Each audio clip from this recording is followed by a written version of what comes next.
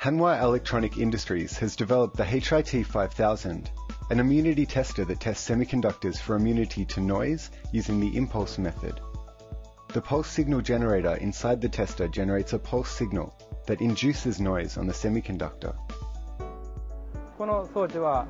トランスミッションラインパルス TLP を用いた試験になります TLP は不芸波が発生できますので解析が容易になります Probing can be easily conducted because the tester can be connected through a connector,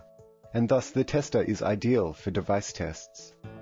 It also enables timing analysis.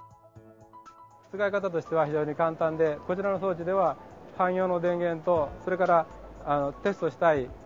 デバイスが載ったボードを使うことで試験することができます Normally, when an impulse is applied with an electrostatic discharge gun, the power supply voltage noise that appears on the LSI pins may at times form an oscillating waveform even when the impulse is applied with a positive discharge.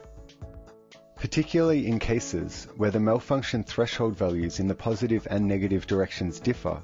it is possible that malfunction could occur due to values that exceed the negative direction threshold even if a positive discharge is applied. The HIT 5000, however, offers greater versatility because it can separately evaluate either the positive or negative direction when a square pulse wave is input. DigInfo News